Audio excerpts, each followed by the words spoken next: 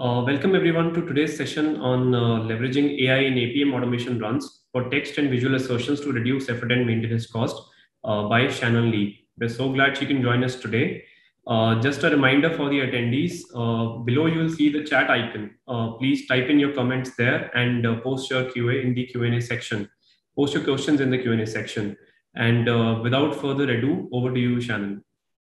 Awesome. Thank you so much for the intro. I appreciate that. Uh, also, really excited to be here to speaking with you all. Um, again, I was mentioning earlier how I had some uh, internet issues. So if I am coming off spotty or audio is coming off or anything like that, um, it might be related to my internet issues. So please bear with me. Hopefully, we'll have uh, smooth sailing. So Again, my name is Shannon. I'm the dev evangelist for Kobiton. And today we're going to just do a quick discussion on how AI can act as a top layer of Appium automation to analyze text and visual assertions from a, from a baseline manual session. So with that, we'll get into, um, for the agenda, we'll go to a quick intro, and then I will actually walk through the process with you all and uh, open the discussion up as we talk through it. And then at the end, they'll be available for any questions that you might have for me, uh, and I'll be able to answer them for you um, towards the end. So again, if you have any questions, please feel free to answer them to the chat, or I'm sorry, ask them to the chat, and then we'll get to them at the end of the presentation. So quick intro. So this is going to be heavily around assertions.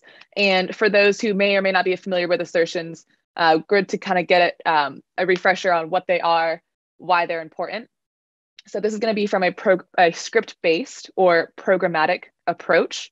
So what are assertions? Uh, they're validation steps that determine whether an automated test has succeeded or not. So uh, they also help validate expected results to actual results in automation. And then uh, this really just helps you make sure that you're hitting that acceptance criteria within your test case. So we all know we have to meet certain criteria, certain business requirements. And so with assertions, again, from a prog programmatic viewpoint, we can implement assertions to make sure that what's actually happening is compared to the actual, or I'm sorry, the expected. And if yes, great, it passed. If not, fail it, we need to revisit this test. So why are assertions important? So again, from a programmatic approach, they just drill deeper into your test case to make sure that all bases are covered. And then they also act as a checkpoint within automation. So as I mentioned just a moment ago, if the expected is not there, then fail the test, and then uh, that being a hard assertion. So again, they act as checkpoints through your automation. And then this also just really helps eliminate false positives. So if you're running an automation test and maybe you don't have you don't have assertions, then if it passes, it may not have actually been a true pass. So assertions, when they're implemented within your script, can help you make sure that that pot that pass is a true pass. So again, eliminates false positives. So again, this is from a script-based perspective, and then I kind of want to touch on scriptless assertions as is what we're seeing in the day and age now with artificial intelligence. So script-based assertions versus scriptless assertions. So script-based, again, we mentioned how from a programmatic perspective, you can fine tune your automation so you can really drill into your test cases and to make sure you hit business requirements. And that gives you just more coverage. And then more coverage gives you more confidence. And again, eliminates that fault, those false positives. But there are a lot of downsides to script-based assertions. One of the biggest one is script bloat. So the time it takes and how tedious it takes to, again, programmatically develop an assertion or code out an assertion. You could have 100 lines of code specifically towards say visual assertions of making sure that I assert that this page is here, this layout is this size, this button is here, etc. A lot of times for Appium, especially, there's either those who will develop their own kind of homebrew visual assertions, or you can use other programmatic tools like Applitools for visual assertions as well. And again, that can just be a little tedious, very hard to maintain, you end up having script bloat of 100 lines of code trying to trying to make sure that your test cases your automation is hitting what it needs to hit. And also very hard again hard to maintain. So imagine the next release your page changes and then all of a sudden all your assertions that you just worked so hard on are blown out. So now we're seeing the day and age of artificial intelligence really coming in and helping automation efforts, specifically from a mobile perspective. So Appium is fan- phenomenal with mobile uh, automation, but of course, any automation has its downside.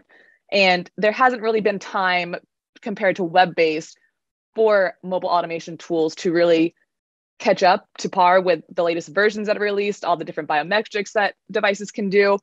You know, releases happen so quickly and versions are released so quickly that it's really hard for automation tools to play catch up. So this is where we really see the benefit of artificial intelligence to help us play catch up in the mobile automation game. So some pros to scriptless automation, or I'm sorry, scriptless assertions. So it's instead of actually asserting, so saying assert equals or I assert this from a programmatic perspective, it's actually more baked into the artificial uh, intelligence engine that's that's being worked on. So this gives you very fast analysis of metadata. So you, again, you don't have to actually code it out. They're baked right in and they'll bring to the forefront for you uh, any issues or discrepancies along the lines of what assertion you're implementing. So say text or a visual assertion. And they also, they do the same and get allowing you to gain that confidence and coverage in your automation efforts without having to maintain it or without having to take X amount of hours to actually code it out yourself. So again, uh, the just very quick, easy analysis, easy for you so you can move on to more important things, that is additional automation for your mobile application. The only downside to scriptless assertions is that you do have a little bit of loss of that granular control. So again, from a programmatic perspective, you can really drill into your test case. From scriptless, it's more of, as this presentation will go into it, more at a top layer, so more from UI down. So you don't have that ability to really drill into your test case. It's again, it's more just from a top layer. So with that, I'll do a quick walkthrough. And I'll show you. So first to show you, I have my Appium code right here. This is a very simple one. So I just pulling up an application, doing swipes through it and exiting, and that's just about it. If I wanted to do visual assertions within the Appium code within the Appium script, again, that's going to be a, a just more uh, more lengthy and lines of code that I myself would have to again code out and develop. So some things to set here. So with the scriptless assertions that Kobiton offers, the only thing that you'll need is one to run a baseline manual session. Well, that's not a manual. You can actually import your Appium script, run that on a device, and now you have your baseline uh, baseline run. So I have done just that with my Appium code. And here I've set the session ID. And then I've also, and then I've also set visual validations true and text validations true as well. So let me show you what, from a manual perspective, what that looks like. Um, again, this has already been done in Appium script, but just for simplicity's sake, wanted to quickly show you all how the actions look so that we can then look at the assertions. So I'm just going to pull up a device on Kobiton and install the application that I am going to be using.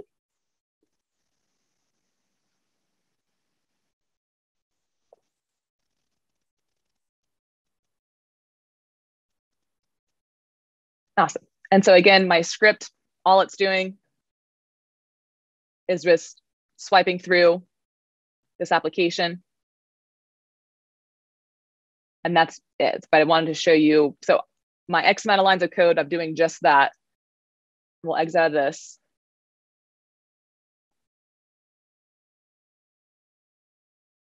What you can also do is what I what I've already done is you're able to go back to my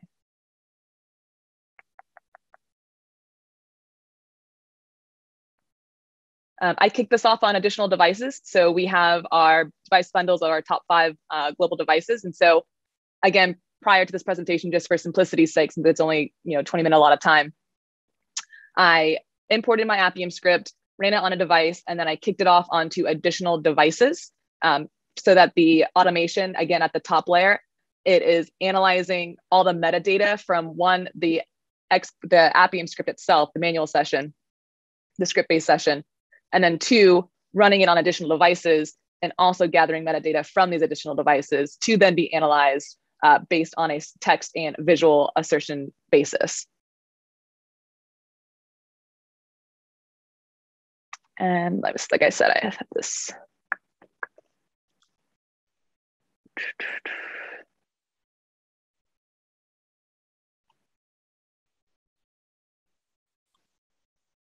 Where is it?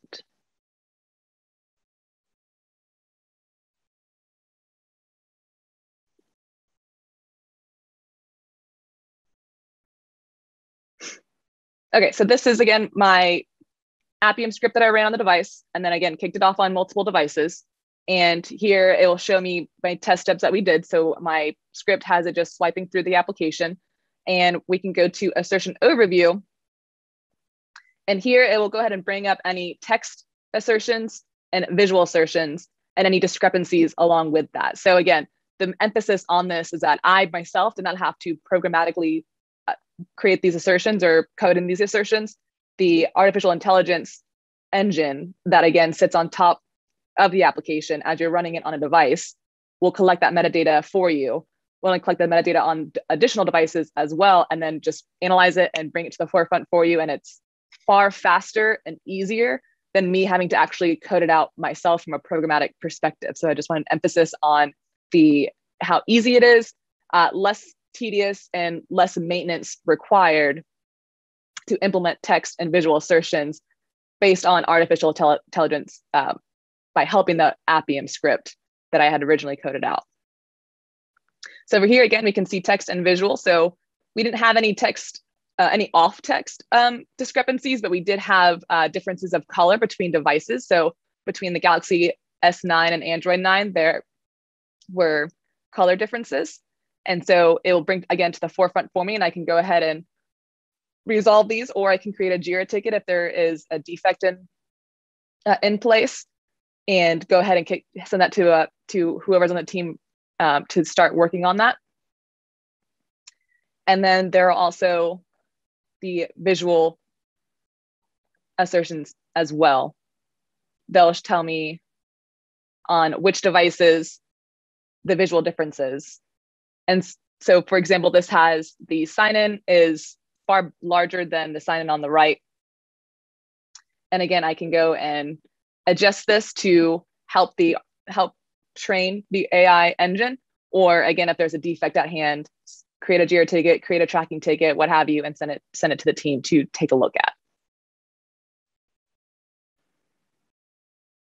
Curious to see what the other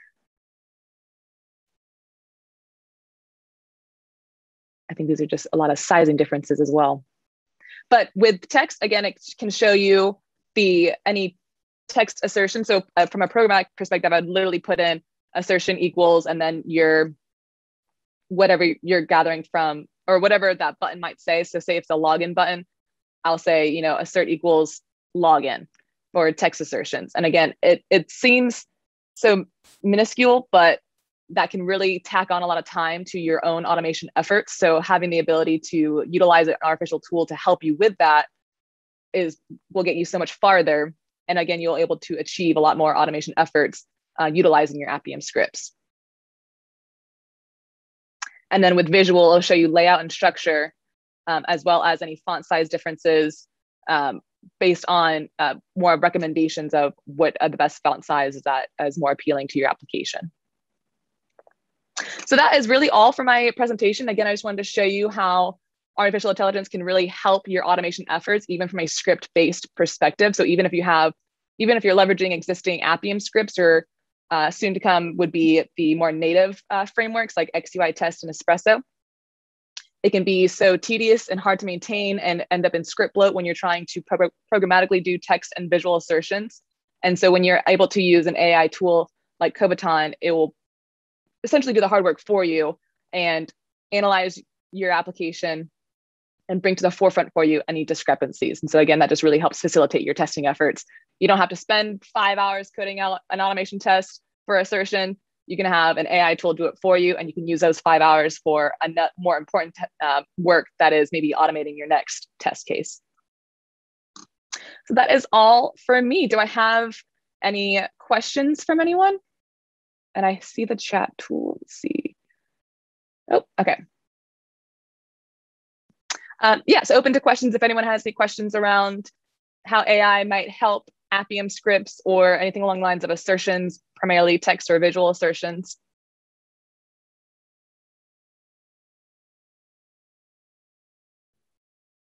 Just a reminder, people can use the Q&A tab to post questions.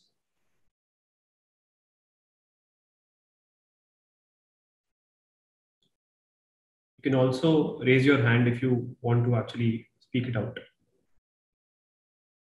Okay, we have a question.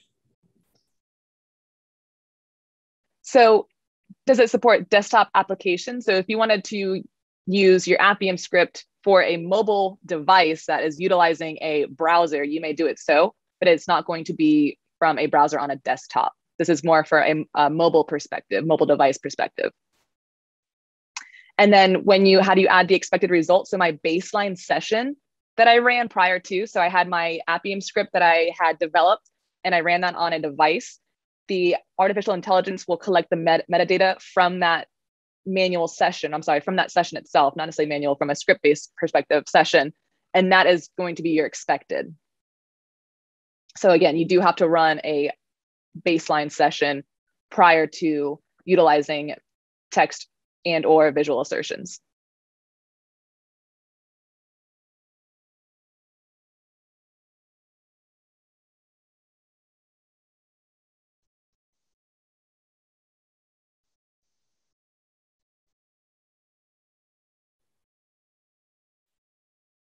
Any further questions? Okay, we're getting questions in, in the chat. Uh, yeah, I see it. Um, so how can we integrate the Kobiton with Appium? So on the Kobiton platform, you can actually import your Appium scripts and run it on any device. So it's as easy as just importing your script itself.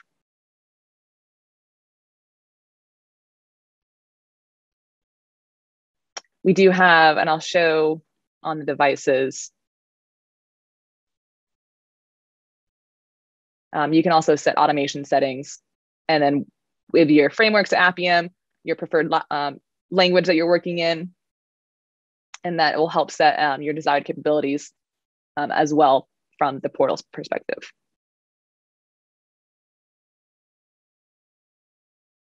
And with Kobiton, we have um, a public cloud that houses, we have up to 400 devices.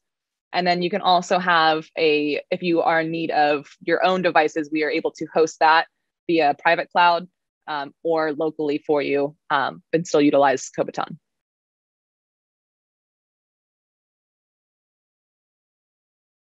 Okay, we still have a minute to go. We can take maybe uh, another question.